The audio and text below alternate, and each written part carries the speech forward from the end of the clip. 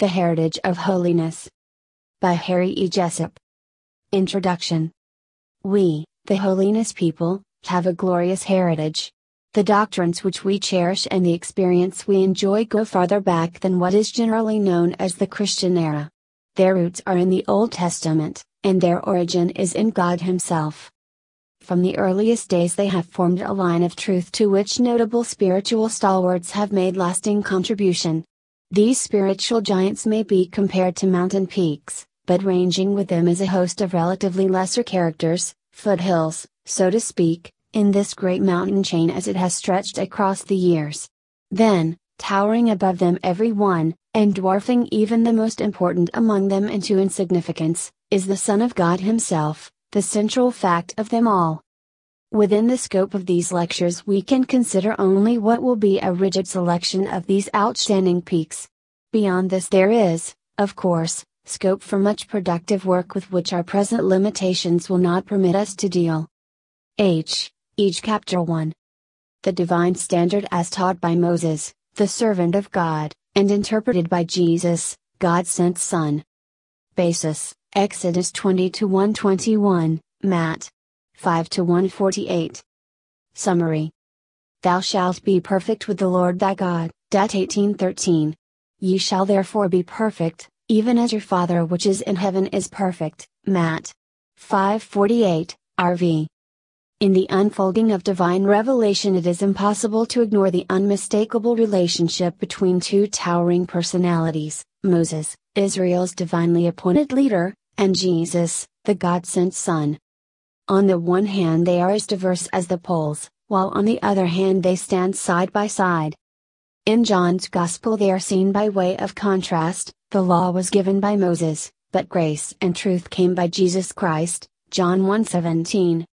In the book of the Revelation, the victors on the Sea of Glass are described as singing the song of Moses and the Lamb, Rev.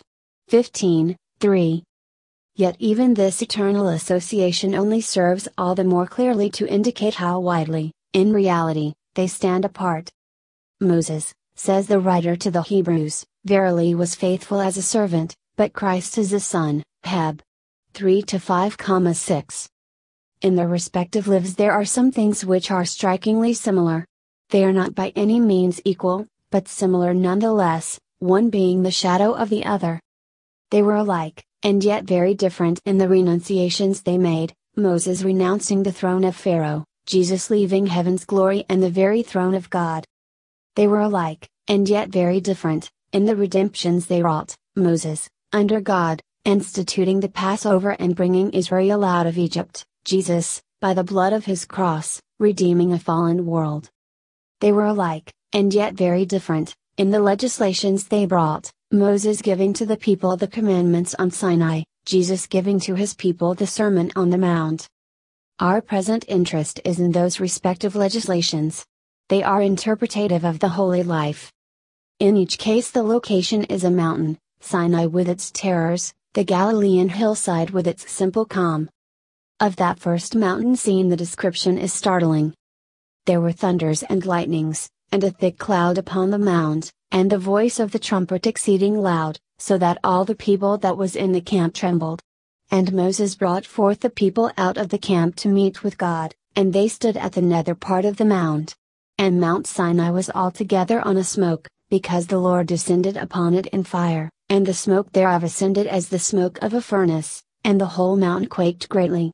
And when the voice of the trumpet sounded long, and waxed louder and louder, Moses spake, and God answered him by a voice.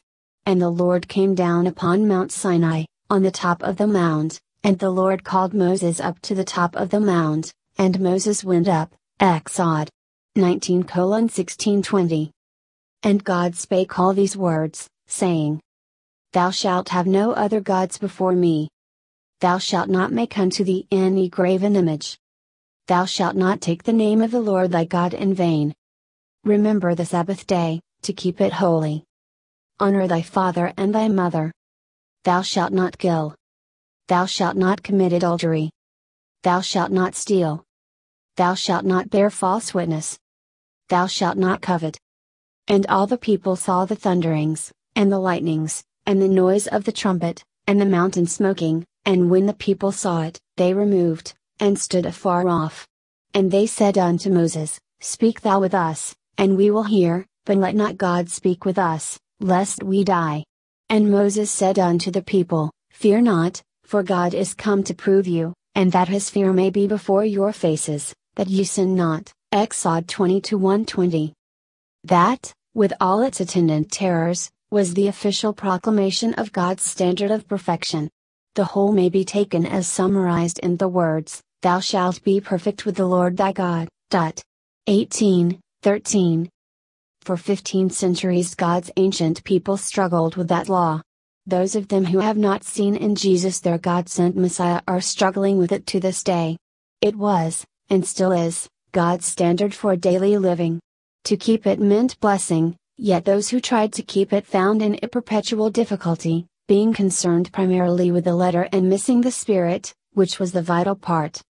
Centuries later, however, we come to another mountain. The setting is entirely different. Here there is no rolling thunder. Upon it there is no flashing fire. No quaking earth nor terrifying voice startles the hearers as had happened 15 centuries before. Here is a humble carpenter preacher surrounded mostly by peasants and fisher folk. Yet within that circle is being issued a manifesto which is one day to govern the world. Of that kingdom manifesto, only one section concerns us here, chapter 5. We shall approach it through the rear door, where once again we shall find the word with which Moses summarized the divine demands of his day. Thou shalt be perfect with the Lord thy God, Moses had declared. 18, 13. Be ye therefore perfect, says Jesus, even as your Father which is in heaven is perfect. It would be safe to say that there are few verses in the entire range of Holy Writ around which there has been more difficulty of interpretation. The reason may be twofold. A. Failure to realize the relation of this verse to the rest of the chapter.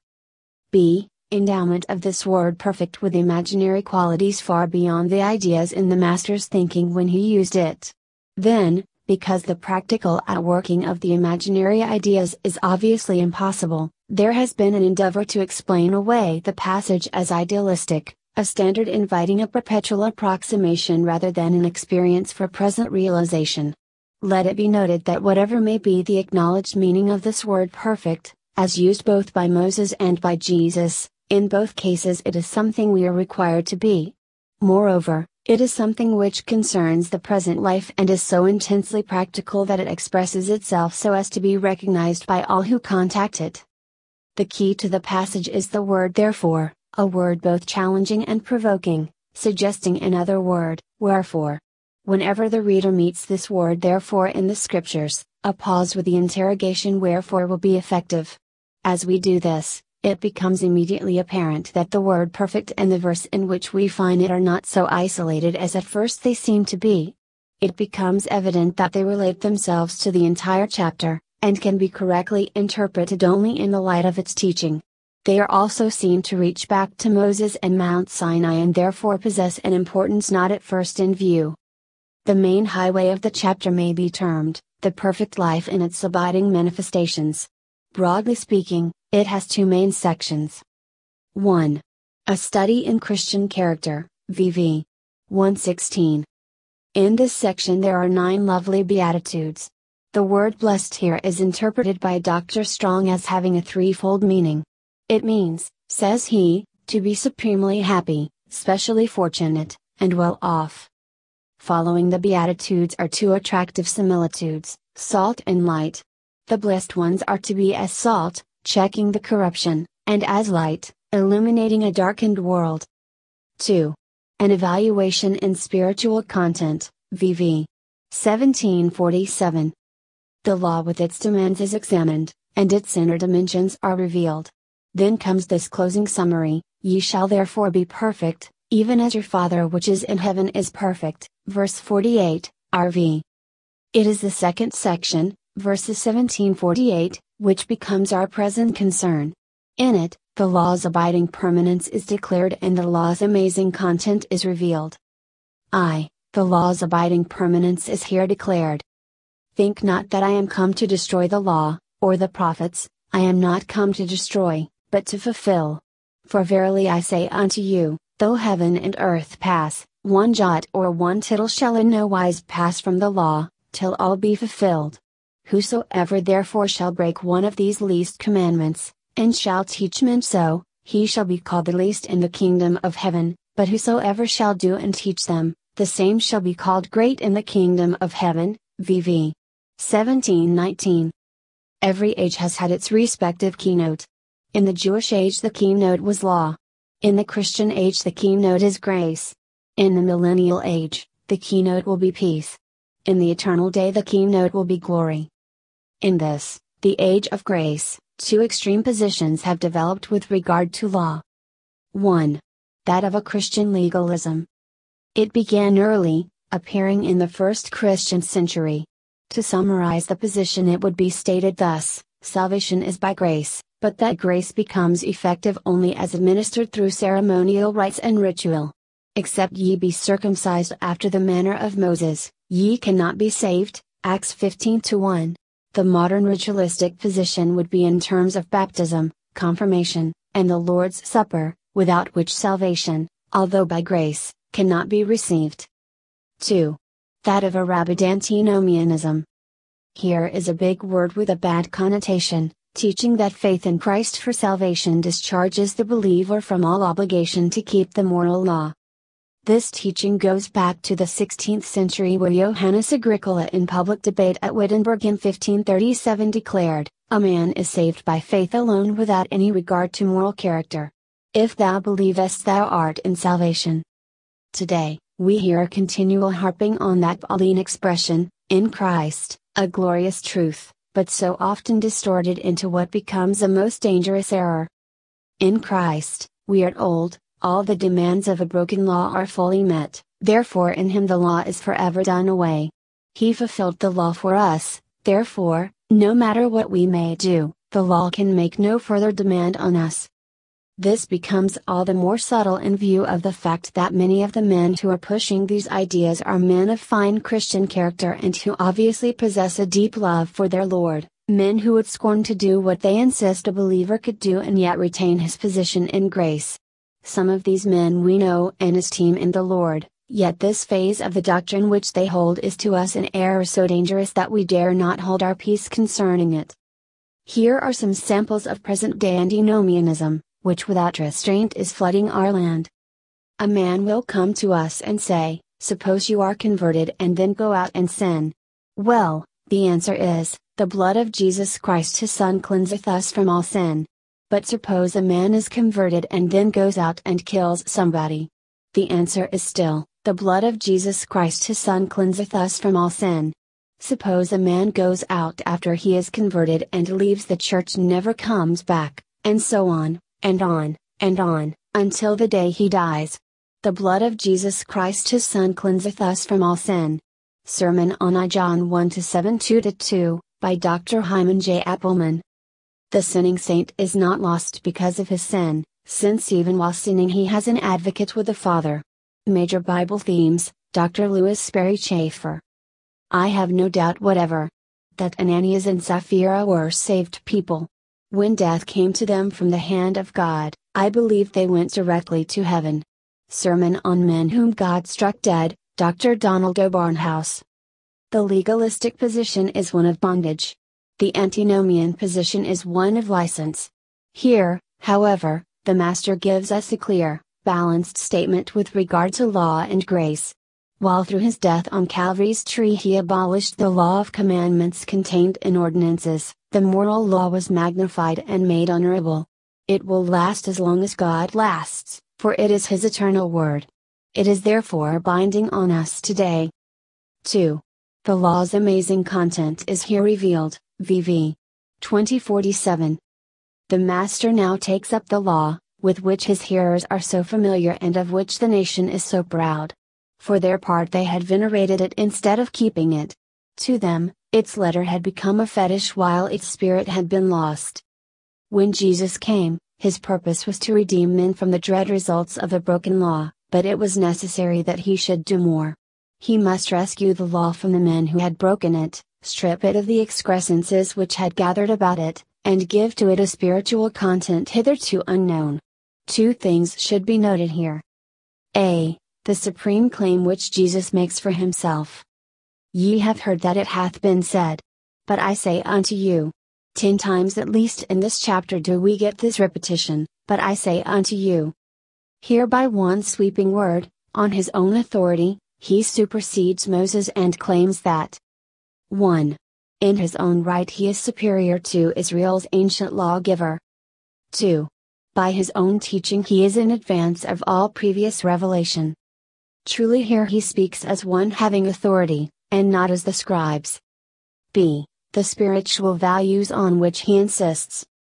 Thus far the law had been an outward letter relating itself to conduct. He now makes it an inward spirit regulating the motions of the soul.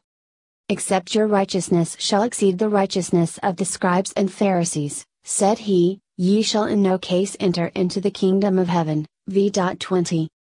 He now begins to select portions of the law which are universal in principle, starting with the lowest point of morality and working his way with amazing skillfulness to the climactic word in verse 48 Ye shall therefore be perfect, even as your Father which is in heaven is perfect. RV 1.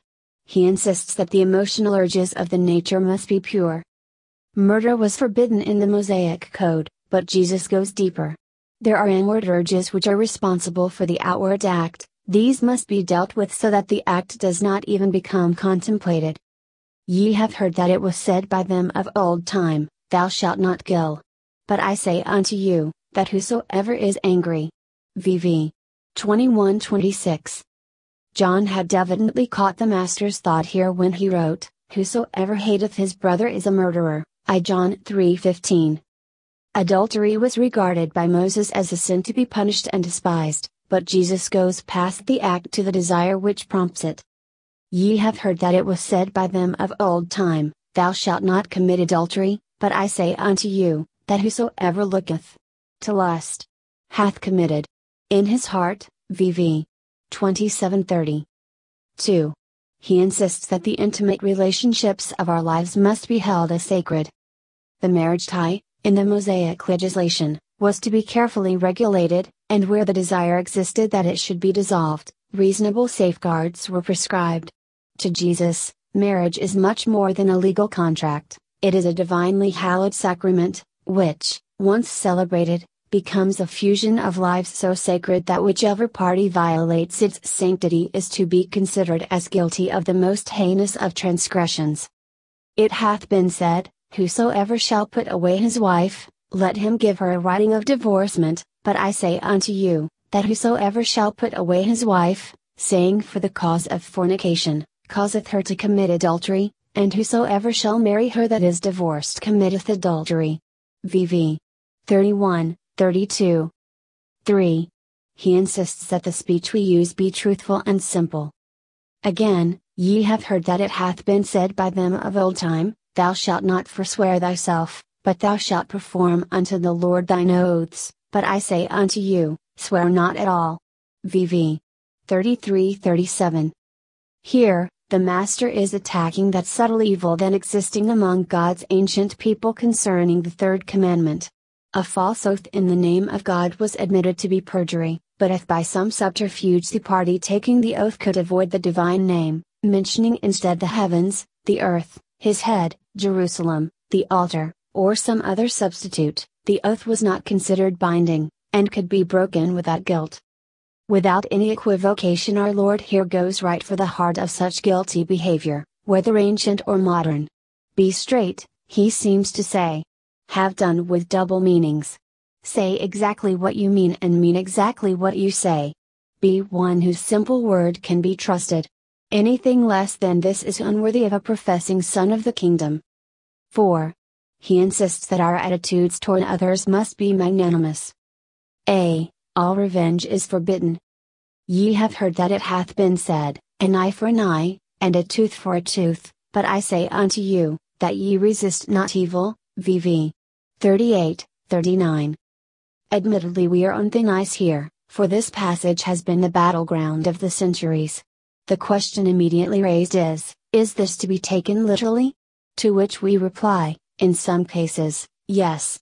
But, for all, it contains an indisputable spiritual principle realizable only through an experience governed by the 13th chapter of the first epistle to the Corinthians. B. A self renouncing spirit is called for. This is to be worked out by 1. When smitten, turning the other cheek, v. 39. Here the inner principle may be stated thus Trust God to vindicate and defend you, and win your enemies by kindness. 2. When unjustly pressed, letting the adversary take the cloak also, v. 40. Again, the inner principle is evident forego, if needs be, your just rights if by so doing you can better manifest the Spirit of Jesus. 3. When oppressed, going the second mile, v. 41. To the Jew, the compulsory mile was an everlasting aggravation. Being under Roman domination, any Jew at any time was liable to be called up not only to furnish facilities for travel but if needs be to go himself, carrying the load. Needless to say, in such cases the spirit of cheerfulness was not too prevalent, and one can imagine the exactitude with which the mile was stepped out. Here, says Jesus, is your opportunity to show an attitude that is different. The principle, be willing to help even the most demanding and ungrateful, and do it with a cheerful spirit. 4. When facing need, giving to him that asketh, v. 42. Here again is a passage over which there has been much contention. Must we give to all who ask and give all that is asked? If there is a place for discrimination, at what point shall we draw the line? Beggars accost us, some of whom we know will spend what we give them on liquor or even worse. Shall I give my money, which with myself has been consecrated to God, to some sinful rascal who will squander it in vice? The answer is obviously no. Once again, there is a principle to be observed which may be stated thus never shut out the cry of need. Maintain and cultivate a compassionate heart. C. The whole of our inner nature is to be permeated with love. This love nature is to be manifested even toward those obviously our enemies. Ye have heard that it hath been said, Thou shalt love thy neighbor, and hate thine enemy. But I say unto you, Love your enemies, bless them that curse you, do good to them that hate you, and pray for them which despitefully use you and persecute you, that ye may be the children of your Father which is in heaven, for he maketh his sun to rise on the evil and on the good, and sendeth rain on the just and on the unjust. For if ye love them which love you, what reward have ye? Do not even the publicans the same? And if ye salute your brethren only, what do ye more than others? Do not even the publicans so? VV 4347. Your enemies. Those irreconcilable people. They curse, hate, despitefully use persecute. You are to bless pray for, do good too then what could be more striking than that classic illustration of the Father's benevolence? Watch him, says Jesus, and note how he lavishes the sunshine. See how he scatters the raindrops. You are his sons. Act like it. Be worthy representatives of a good Father. Then, by way of contrast, look at the publicans giving only where they can get in return. With such a Father as you have, are you content to be like them? Ye shall therefore be perfect, even as your Father which is in heaven is perfect. V. 48, RV. Here, then, is the standard interpretation of the perfect life given to us on the authority of Him whom we trust as Savior and honor as Lord. Theologically, there is much more to develop, but now at least the crust has been broken and we have been made to see that such a life has to do primarily, not with the enforcement of conduct as dictated by codes, rules, prohibitions, and the like, but with an inner principle of goodness which the law could never furnish but which Christ alone through the power of his indwelling presence can provide.